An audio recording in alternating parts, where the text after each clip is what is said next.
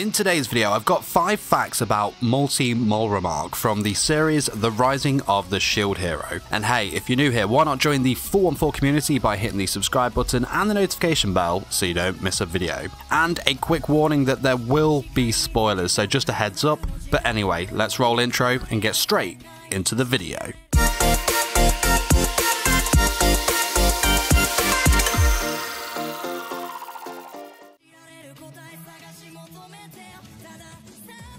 So, Malty is a female human and quite a beauty at that. She had long crimson red hair that is usually tied up and stunning green eyes. Now, Naofumi himself first described her as a lovely girl. You know, she has a pretty cute face and her body is, you know, let's say, on point.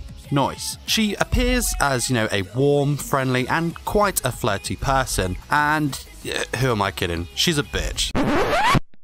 If there is one thing to take away from this video, nay. The only thing you need to know about this girl is that she is a massive, massive bitch. Okay, see you later.